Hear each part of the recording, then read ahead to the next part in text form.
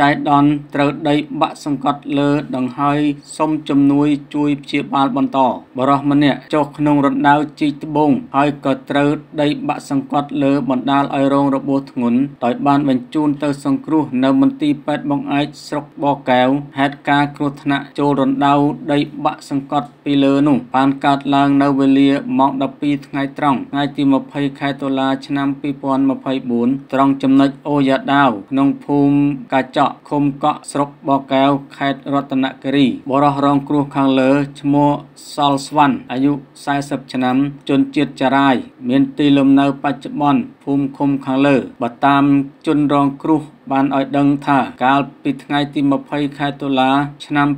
2024ខ្លួននិងភរិយា រួមទាំងកូនស្រីម្នាក់ផងនោះ បាននាំគ្នាទៅជីករុករករ៉ែត្បូងធម្មជាតិនៅចំណុចអូយ៉ាដាវ រហូតដល់ម៉ោង12ថ្ងៃត្រង់ក៏ជួបហេតុការណ៍បាក់ដីទាំងផ្ទាំងតែម្ដង បណ្ដាលឲ្យសង្កត់មកលើរូបលោកប៉ុន្តែក៏ជាសំណាងល្អដែរដែលលោកបានដឹងស្នូសម្រាប់ដី បាក់មុនក៏ស្ទុះលោតចេញប៉ុន្តែជាអកុសលដីបានបាក់សង្កត់ជាប់ត្រឹមករួចក៏បានសន្លប់លែងដឹងខ្លួនទៅហើយ លោកបន្តថាជាសំណាងណាស់ ដែលមានបងប្អូនជាអ្នកជាជ័រកៅស៊ូនៅចិត្តក្បែរនោះក៏បានមកអើតមើលឃើញក៏នាំគ្នាជួយសង្គ្រោះនិងដឹកតាមម៉ូតូយកមកផ្ទះវិញដោយសារស្ថានភាពជំងឺធ្ងន់ធ្ងរពេកទើបក្រុមគ្រួសារក៏បានបញ្ជូនបន្តមកកាន់មន្ទីរពេទ្យបង្អែកស្រុកបកែវភ្លាមៗដែរលោកសលស្វ័នជនរងគ្រោះមានភរិយាព្រមទាំងមានកូនប្រុសស្រីចំនួន7នាក់ក្នុងនោះកូនស្រីចំនួន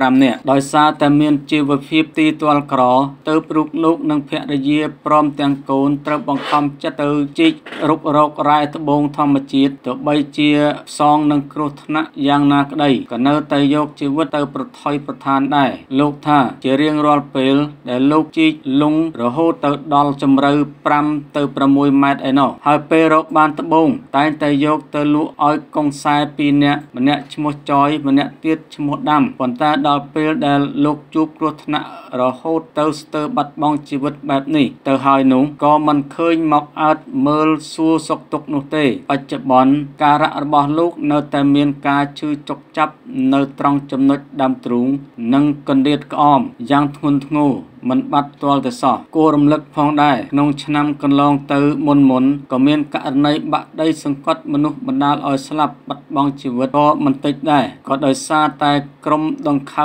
កងសាយត្បូងឃោសនាគៀងកោប្រជាពលរដ្ឋបងប្អូនជនជាតិដើមភាគតិចទីទាល់ក្រផ្ដល់កម្រៃឲ្យទៅពួកគាត់ក្នុងម្នាក់ចំនួន20000រៀលប៉ុណ្ណោះក្នុងមួយថ្ងៃសម្រាប់មនុស្សម្នាក់គឺដើម្បីឲ្យទៅជីកលងកកាយដីចូលក្នុងរណ្ដៅដែលមានជម្រៅមិនក្រោម10ម៉ែត្រនោះឡើយយ៉ាងអនាធបត័យដោយសារគ្មានច្បាប់ទម្លាប់អ្វីឡើយហើយលោកក៏បានសូមសំណូមពរ ទៅដល់ថ្នាក់ដឹកនាំគ្រប់ជាន់ថ្នាក់និងសប្បុរសជនទូទៅមេត្តាជួយឧបត្ថម្ភជាថវិកាបន្តិចបន្តួចដល់រូបគាត់ផង ដើម្បីបន្តព្យាបាលនិងថតពិនិត្យមើលអាការៈជំងឺក្នុងខ្លួនឲ្យដឹងពិតប្រាកដផងនិងដោយក្តីអនុគ្រោះដោយឡែកសមត្ថកិច្ចអាជ្ញាធរនិងជំនាញពាក់ព័ន្ធការគ្រប់គ្រងធនធានធម្មជាតិរ៉ែគ្រប់លំដាប់ថ្នាក់ក្នុងខេត្តបានប្រាប់មកដល់ក្រមសារព័ត៌មានថាក្នុងករណីហេតុការណ៍ទាំងទាំងអស់ខាងលើពុំបានដឹងនោះទេ